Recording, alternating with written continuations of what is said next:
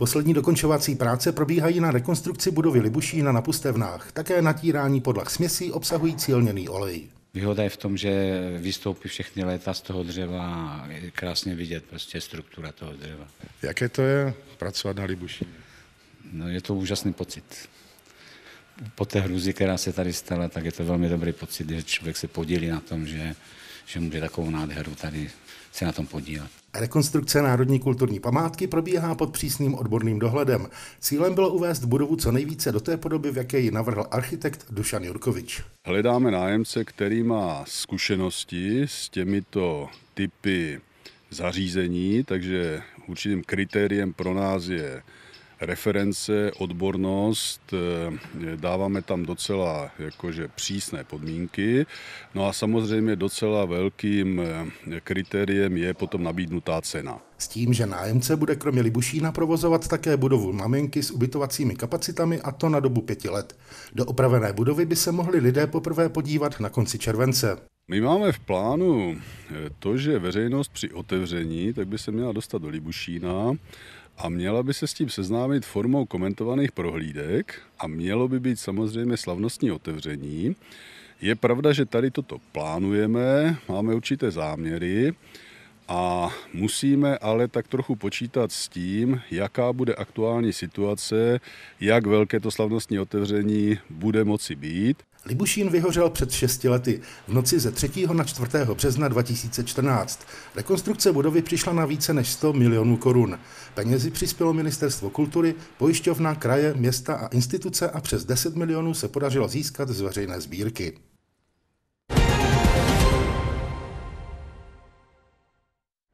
Krizový stav ukončili v Rožnově pod Radhoštěm k 17. květnu. Činnost ukončil také krizový štáb a jeho pracovní skupina.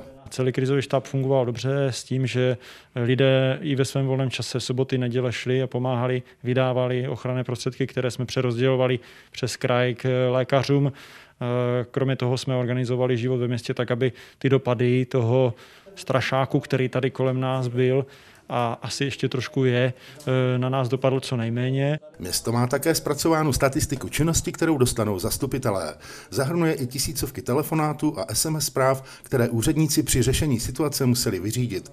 Radnice má i finanční vyučtování. Za nákup e, dezinfekčních prostředků, e, roušek, ochranných věcí, které jsme potřebovali nejenom pro lidi z městského úřadu, ale i pro výkon městské policie a hasičů, tak za kompletní nouzový stav jsme utratili 370 tisíc.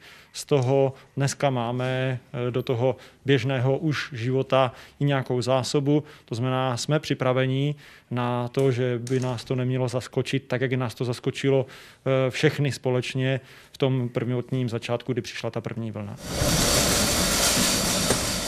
a město je připraveno v případě potřeby znovu vybavovat dezinfekcí městské společnosti, školy a další místa. My jsme spíše eh, kontrolovali a dobybavovali dezinfekci příspěvkové organizace.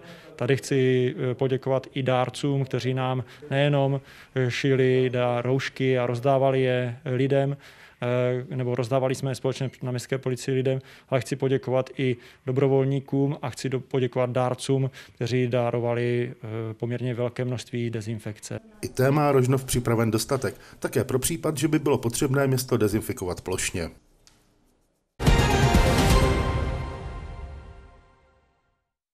Poprvé od 13. března přišli žáci do základní školy Záhoní ve Frenštátě pod Radhoštěm.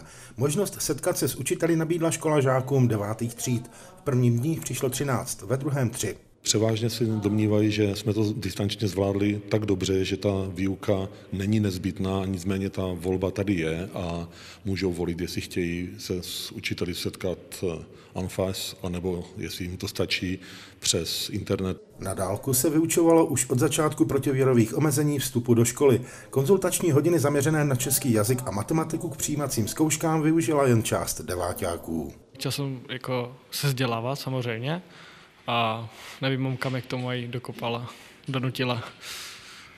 Jak je to je učit se z domu? Uh, jako je to komfortní, ale zase to je na nic v tom, že nemám kontakt s tím učitelem. Z domu mě to moc nebaví, moc mě to nedonutí se sám učit, takže jsem zvolil přijít do školy, protože tady prostě musím.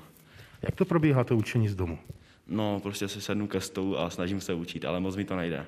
Ale snažím se, co to jde. Přijímací zkoušky na střední školy by měly proběhnout 8. června. Deváťáci jsou vzděláváni už od polovičky března distančně. Zpočátku jsme používali platformu e, bakaláři, nicméně ta nebyla konstruována na takové davové učení doma, spíš pro, bylo to směřováno spíš k dětem, které jsou dlouhodobě nemocné. Začala nestratit kapacitně, začala nám vypadávat, takže jsme přešli na Google, kde používáme platformy e, Classroom a Google Meet. A mám tři třídy, já učím v třech třídách, takže tady mám prostě nahraný e, počet studentů.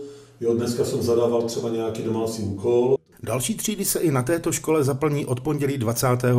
května. To už bude při dodržování hygienických opatření zahájena výuka žáků prvního stupně.